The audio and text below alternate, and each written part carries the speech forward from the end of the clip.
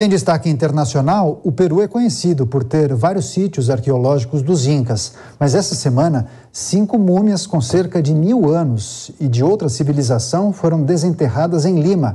Quem conta pra gente é a Malu Bacarim. As relíquias, supostamente quatro crianças e um adulto, foram encontradas no sítio arqueológico Oaxaca, Flórida, em um dos bairros mais antigos de Lima.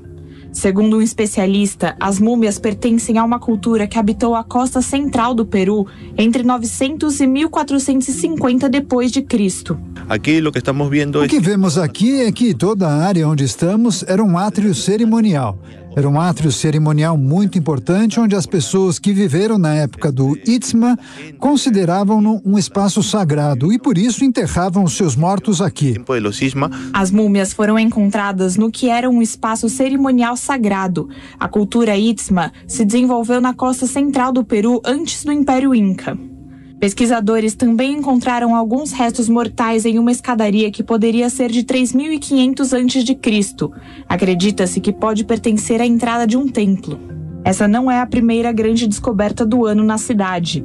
Em setembro, uma equipe de trabalhadores encontrou acidentalmente oito tumbas pré-hispânicas enquanto escavavam uma rua em Lima. Seis das peças têm entre 800 e mil anos. A capital peruana abriga cerca de 400 ruínas arqueológicas, mas os maiores sítios estão em lugares como Cusco, que foi a capital dos Incas.